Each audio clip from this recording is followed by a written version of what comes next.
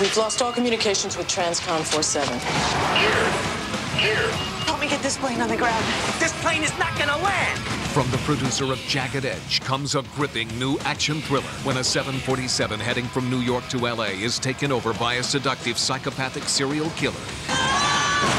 Turbulence, starring Ray Liotta and Lauren Holly, is Twister at 36,000 feet. Say your prayers. Turbulence.